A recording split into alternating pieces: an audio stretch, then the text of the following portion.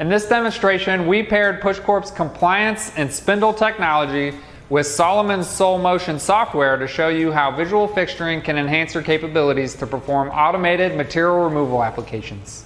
SolMotion's visual fixturing uses cameras to determine your part's location and orientation. It then makes offsets to your existing program so your robot's TCP travels in relation to the part as you intended. This is commonly used in bin picking applications, but there are significant benefits to using it in material removal applications. One possible benefit is a reduction in tooling costs. Locating a part visually may enable you to loosen the tolerances on fixtures, significantly reducing the cost to manufacture them. Another possible benefit is reducing scrap risk on high dollar parts. The cameras will verify where the part is each time to avoid damage to the part due to misfixturing.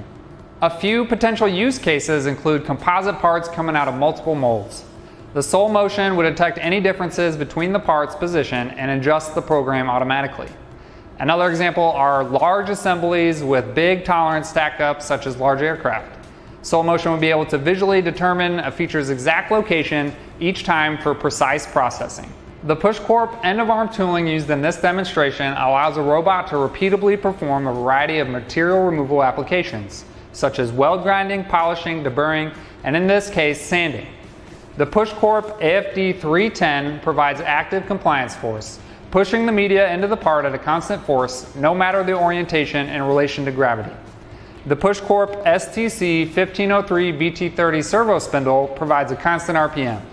Packaged together, this allows you to create a consistent finish on repeatably fixtured parts. Let's take a look at how this equipment works together with SolMotion. Solomon's SolMotion software works in tandem with Solomon's AccuPick 3D camera. To get started, you calibrate the camera and robot TCP.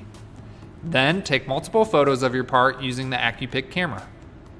Now annotate the photos to assist the Soul Motion's AI deep learning process.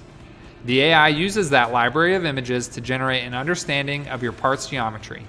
Now you can record a program with your part fixtured in place. A photo is taken of this location and a golden model is now created. Now wherever you fixture the part on your table, SolMotion compares the new location to the golden model and automatically creates offset from the program you created earlier. Let's see it in action. The AccuPick camera takes a photo of the part and quickly determines the offsets to send to the robot. As the spindle is readjusted over the part, the compliance device is maintaining a constant force. Now I'll refixture the part in a random location and run it again.